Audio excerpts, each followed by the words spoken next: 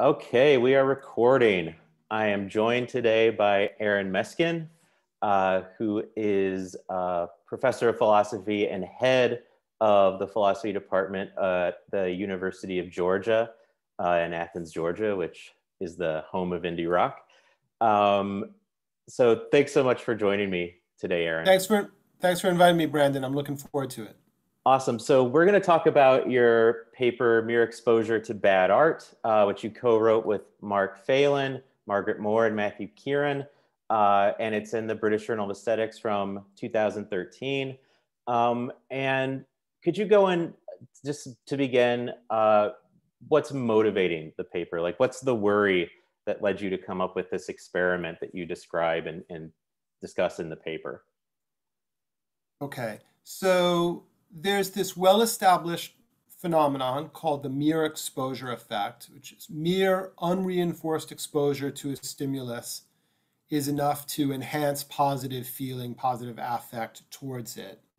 So that's that's well established, been been around for uh, since the beginning of experimental psychology. People have talked about that. Um, uh, a really interesting psychologist at Cornell University, James Cutting, um, started exploring the relationship between the mere exposure effect and judgments about art. So uh, in, he did a series of studies where he, he explored whether and to what extent mere exposure affected people's judgments. He first um,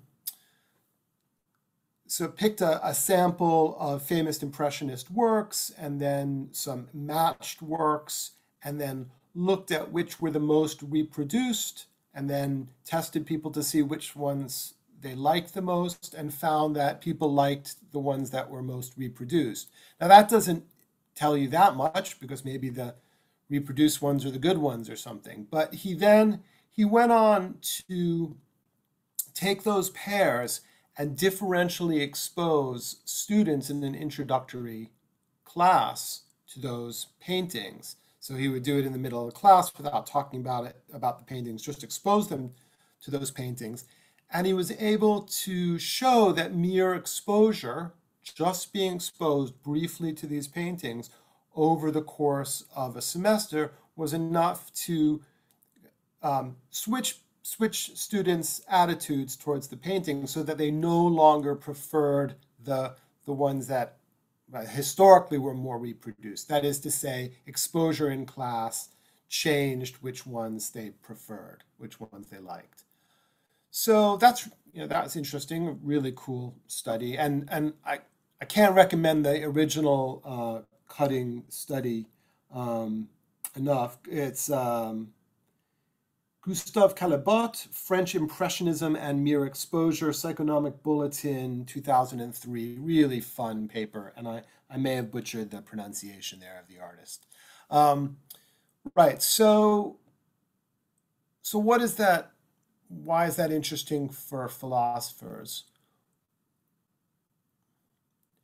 I, I don't think, and I don't think my authors think on its own it presents a devastating objection to the idea that artistic value is real and objective.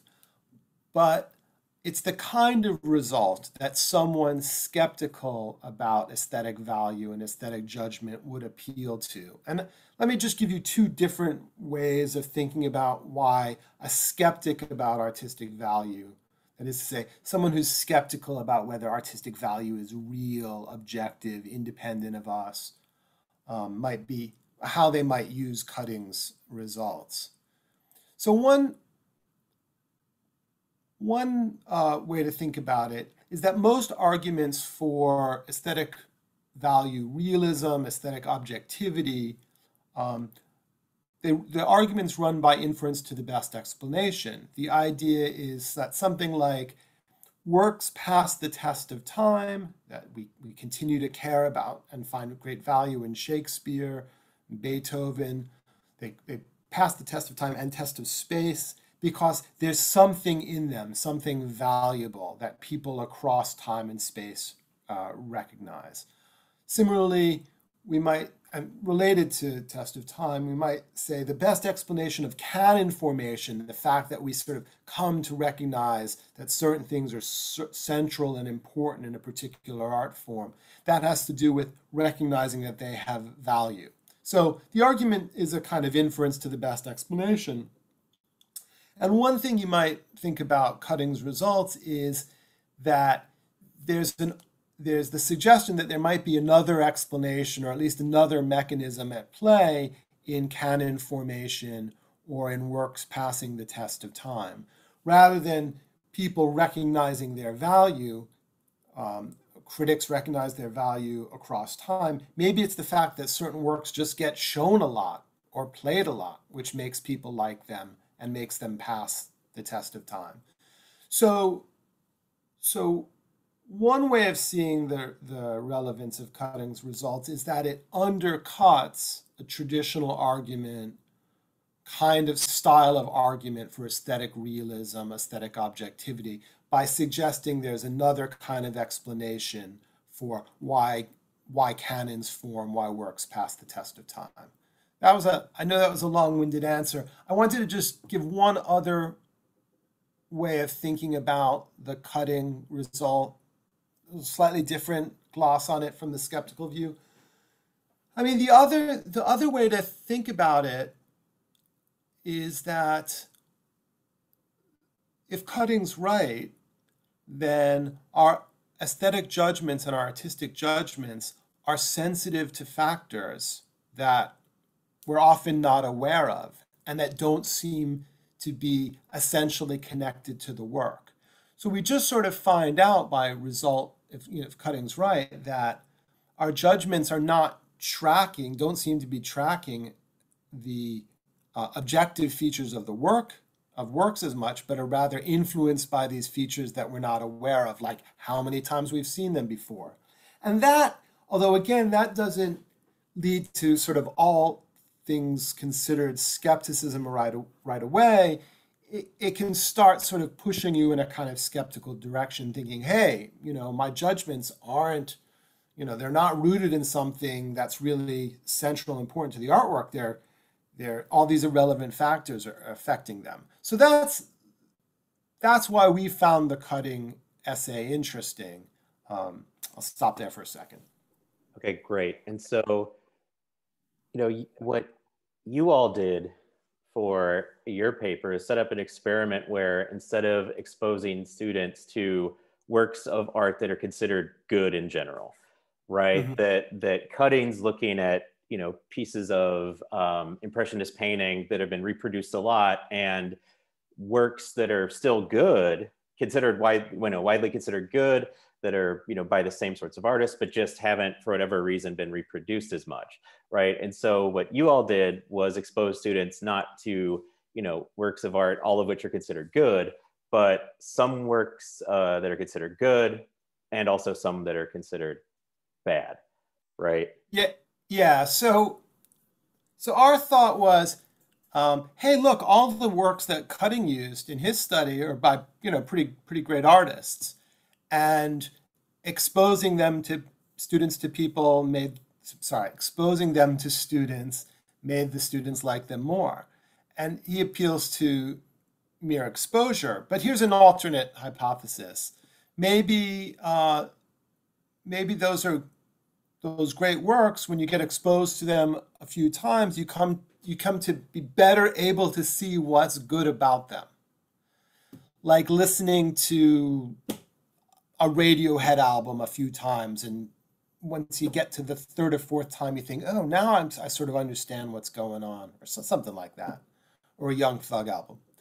Um, so we thought, hey, wouldn't it be cool to see to kind of test that that thought by exposing students to bad works of art, and then and if if our hunch was right or our hypothesis was right that it was the goodness that was playing a role and, and people coming to sort of students coming to see recognize the, the goodness in those works through multiple exposures then maybe the exposure effect wouldn't happen or would be more attenuated or something if we had bad works of art So then we had, so that was like our idea. And then we had, as you can imagine, um, a fun and challenging and entertaining time trying to figure out what were going to be the bad works of art. So we needed for our study some stuff that we could plausibly say was bad art. And that was um, that was a lot of the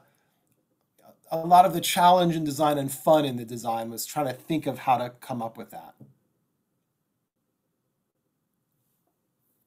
And so the bad works of art you came up with or that you landed on were by Thomas Kinkade, the painter of light. Yeah, so um, I mean, I, I we thought about a lot of different things, but we ended up using paintings by one artist, the popular American artist Thomas Kinkade. um, who you've you know people have seen his reproductions of his works in books and I think in malls. I think that's they're often malls and hotels, and um, there are a few reasons why we chose those. I mean, um, one we thought they were really bad. We agreed. The three estheticians who sort of started planning the study, we all agreed that they were pretty pretty terrible works of art. Uh, two, we could find lots of critical support for our judgments. That is to say, there are lots of reviewers and art critics who say these Thomas Kinkade paintings are really bad. Uh, Three, there are a lot of them, so we had a lot of stimuli to use, and they're easily accessible on the internet. Um, so there's availability. Um, four, I mean, you know, it was kind of. Um, I think we liked the. There was an aesthetic to to our choice too. I think it was sort of interesting and fun to choose the Kinkades. So, but. Um, mostly we agreed that they were bad. We had critical support for their for our judgments, and they were readily available. Um, so that's why we went with that. Obviously, lots of people have questioned that, and you know, how can you say the Kinkades are bad? Yeah, and so how can you say that the Kinkades are bad? Right? How confident should we be in that judgment? Because you know, lots of people like his work well, I mean, that lots of people like something, Brandon, as you know, does not make it good. I mean, we, you know, lots of people liked MC Hammer and Vanilla Ice back in the day. Lots of people like liked Fifty Shades of Grey. Um, uh, so you know, mere popularity, I think, doesn't um, lots of people liked the song My Humps. I mean, it's a mystery, but I mean, many people did. Um, or, or James Blunt. I mean, think of how popular James Blunt was back in the day. Um, so I think mere popularity uh, doesn't, you know, that certainly doesn't entail that this stuff is good. We we recognize that lots of times people um, uh, people make mistakes. Uh, even large groups of people make mistakes. Many of us make mistakes.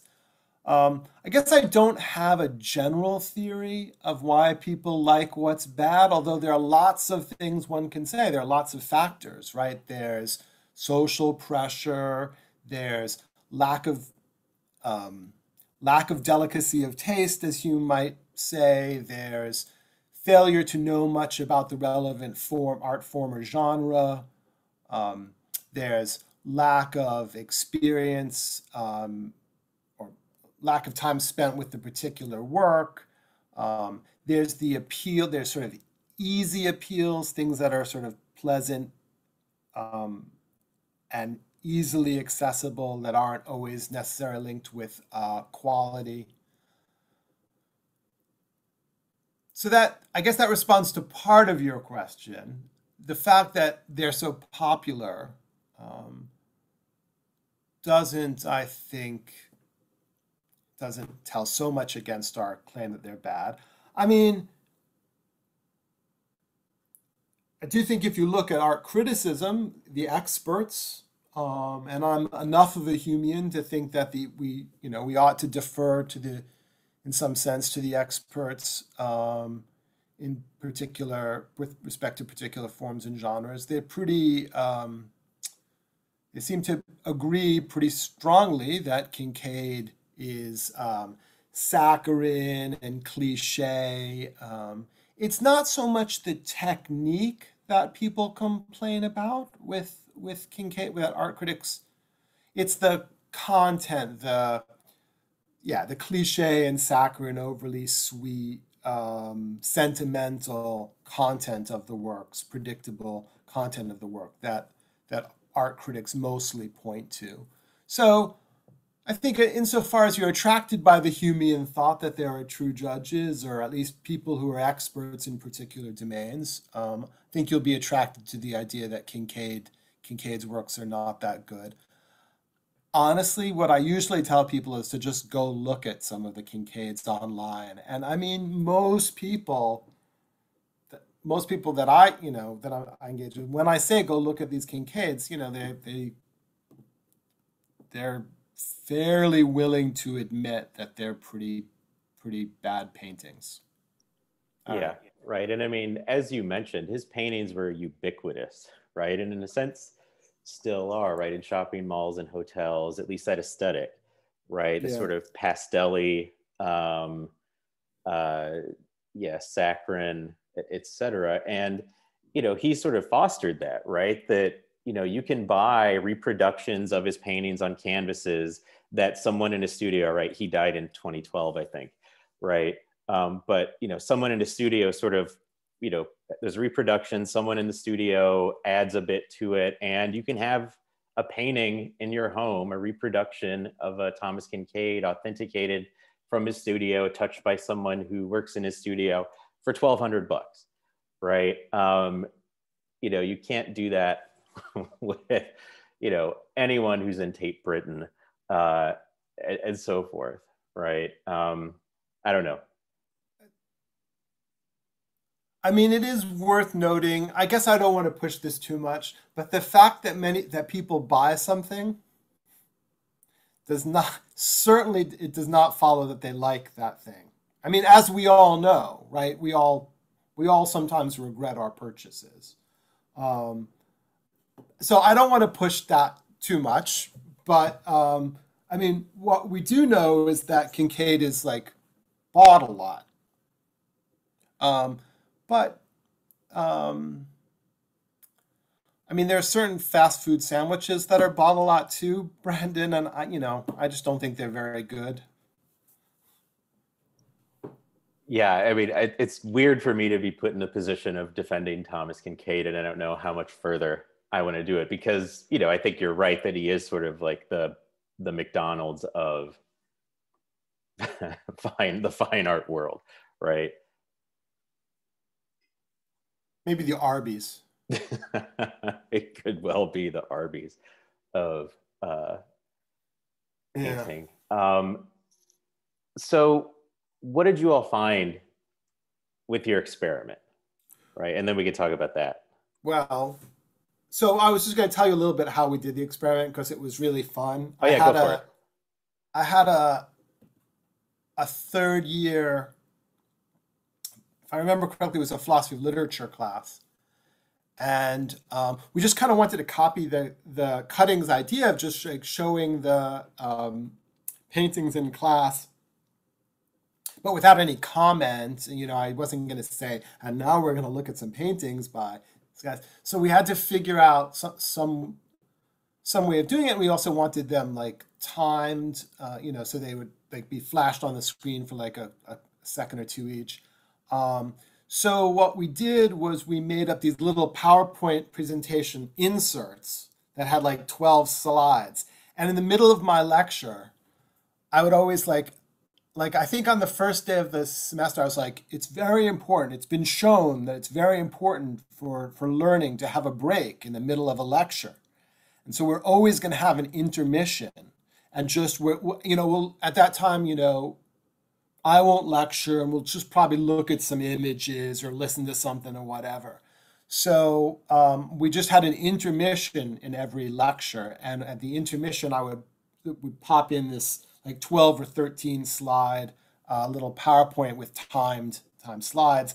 Um, and I would like try to, I would like say nothing and try not to look at the students, you know, just kind of look away or whatever. So that's what we did. We basically, we had these Kinkade paintings and we had some paintings that were, we thought roughly similar in terms of content and palette, broadly landscape paintings by the by the painter Millais that were had been recently there had been a show of them and they had been uh, pretty well acclaimed.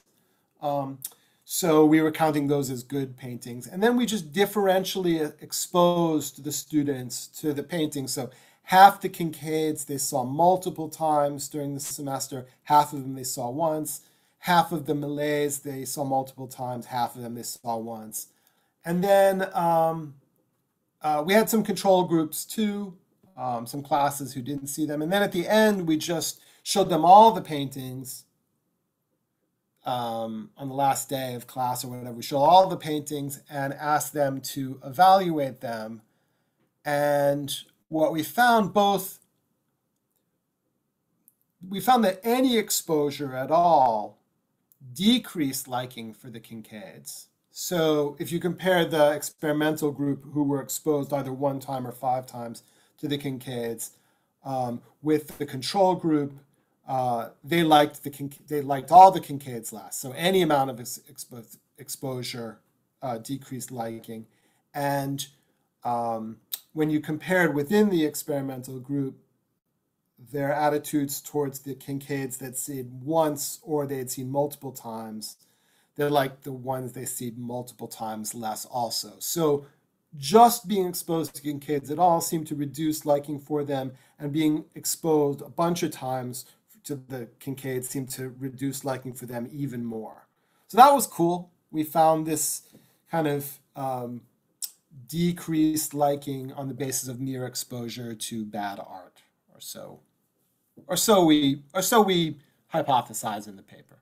Yeah, right. And so the the skeptic, you know, they were sort of going off the idea that look, mere exposure increases liking across the board, right? And so our, our tastes and you know what counts as or what becomes canonical and so forth, the things that have passed the test of time, uh, mere exposure plays a role in that. What what you all showed is that, or it seemed to show, is that maybe that's not the case, right? Because you know if you're looking at the experiments by Cutting and others, you know, they're looking at good art, right? Whereas if you expose people to bad art, they like it less over time. And so mere exposure um, doesn't give you the the skeptic the results they need in order to, you know, help confirm their views about canonicity or about uh, passing the test of time and so forth. Yeah. So so it looks like if you know if our results are right, it looks like something else is at play in the response to the Kinkades other than mere exposure, because mere exposure increases your positive at- attitude um, towards uh, towards stimuli, and we found this decrease. Now, something else looks to be in play, and that undercuts a bit the challenge from the Cutting-based skeptic. Cutting himself slides back and forth in in his attitude. Sometimes he sounds quite skeptical. Sometimes he doesn't. Um, I think his official view is he's not skeptical. Um, but uh, certainly other people have appealed to results like this and been skeptical. And we so our results, which show that something else is going on. Um, now, we haven't established that it's i mean one thing to say is we haven't certainly established without doubt that it's the badness of the Kinkades that's doing the work. Um, that's our hypothesis. I mean that was what we that was our hypothesis going in. We thought the badness of the Kinkades would make a difference to exposure and we got support for that. But of course someone might say there's some other feature of the Kinkades uh, that um, that is driving this um, so that's possible. It would be lovely to get some further studies done around this to explore this some more. Um, I've heard from, I had heard that some people were looking at this, but I haven't seen anyone trying to replicate or extend the results in the, la- in the last few years. But yeah, so we suggest something else is going on in this exposure to the Kinkades. We think it might be badness. Um, uh, whatever it is, it looks like it presents a bit of a challenge to the Cutting-based skeptic because they're not they can't appeal just to uh, just to mere exposure to explain these changes in judgments. Yeah, awesome. And so, you know, I feel like this sort of relates to, you know, exposure to things that are difficult initially, right? I mean, the, the paintings that you were looking at, both the Kinkades and the Millais, right? They're not necessarily challenging or difficult works, right? Millais is clearly a, a better painter. Um, the works are more sophisticated and nuanced, but, you know, like I'm thinking of things like, you know, getting into scotch or getting into wine or getting into coffee, right? And initially, there are hurdles to overcome. You know, if your palate's not used to things that are that bitter, or that smoky, or that, you know, have that level of complexity, right? You're initially disinclined. And yet, if you push through, right, and especially you have someone to sort of help you and guide you and give you a vocabulary to sort of latch on to the flavors you're detecting. Um, you know you're able to get better and better at detecting the the good making features right and so that seems to be you know a sip here a sip there and then eventually over time you come to to like this initially off-putting thing um, whereas Kinkade i think you know what you showed is that initially students liked it right they like the Kinkade more than the Millais paintings yeah right and it's because it's easier right and yet the more they are exposed to the the Kinkade the less they liked it because it was too simple, right? Perhaps, or just too bad, right? That's, I mean, that is a really nice way of putting it. I love the food analogy. You know, I'm I'm interested in in, in the philosophy of food. Certainly, um, one has that experience with food. A dosa, for example, a masala dosa, one might have one or two bites of it, not like it initially, and might need like five bites in order to recognize how good it is. Um, perhaps more, uh, yeah, um, more commonly. I mean, I, think there's some some very good coffee, for example, when or, or tea that you have, um, where again you're you're absolutely right. The first sip, first sip, you might not reckon you might it might not have what you're looking for. Maybe you're used to Starbucks kind of roasting, and so you're looking for that dark, almost smoky roast or what have you. Um, and then it, it, but it, after five or six sips, or after trying it a few different days, uh, you finally recognize the sort of subtle sweetness and fruit flavors in the coffee that you weren't getting from the other, uh, from the from the dark roast. Um, that's right. I just wanted to say with Scotch, I, I really do. I still struggle with Scotch, the smokiness. It's just it's a little much for me. Yeah, gotcha. Just um, sharing. Yeah, and I had at least eight bites of that dosa. um, so just just one question. Some people might be skeptical that what you're doing is philosophy, right? That you're you're have hypotheses, you're coming up with experiments, you're running experiments. What you're doing is more like psychology, right, than philosophy. How would you respond to someone who's worried that this really isn't philosophy, right? Philosophers can rely on um, or make use of exper- experimental evidence from other fields, but why are philosophers doing it themselves? Yeah. So, I mean, there's so many things to say about this. I mean, in one sense, I'm just not that worried. I mean, like, one of the good things about having like tenure in academia is like you can like study what you want and, um, and you know if you want to go get involved in an empirical study uh, you can. Um, so i'm like not that bothered if someone told me hey what you were doing there was psychology. I guess it doesn't bother me. And in fact i've, I have done some work with psych i did some work in the philosophy of food uh, with some psychologists at the University of Leeds and that published in a psychology journal. So i'm fine with like doing psychology. That doesn't bother me. Um, it's like a bonus, actually, right? You can you can do different things. I a few other thoughts that just come to mind. Um, one is like we we call ourselves, well, I do, I think you do, aestheticians. And uh, sometimes we say philosophical aestheticians, but actually, a lot of the time we just say aestheticians. And I think there is a way in which aesthetics um, is a bit broader than is broader than philosophical aesthetics. So there are people people in musicology and literature literary studies who do aesthetics. I think it's plausible there are people doing neuroscience who do aesthetics. So one thing I would say, maybe this is linked to that not being so bothered that I was if I was doing psychology, is I'm really interested in aesthetics, and it doesn't. Um, and aesthetics is broader than philosophical aesthetics, and so if what I do sometimes um, uh, goes over into the the non-philosophical, that would be fine with me. I, I have two more thoughts. I'm coming on this. I mean, I, I guess one thought is, I mean, I, I think philosophy is so heterogeneous.